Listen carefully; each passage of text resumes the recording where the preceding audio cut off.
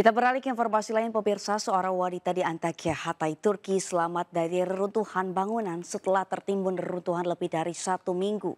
Hingga saat ini korban tewas akibat gempa sebanyak 33.185 korban jiwa.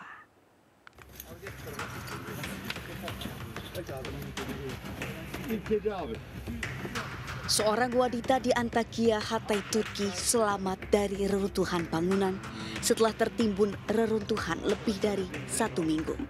Wanita bernama Naide tersebut berhasil selamat setelah 174 jam berada di tengah reruntuhan gempa. Hal ini tentu menjadi suatu keajaiban dari Tuhan. Hingga saat ini korban tewas akibat gempa sebanyak 33.185 korban jiwa. Sementara proses evakuasi masih terus dilakukan di tengah kendala cuaca dingin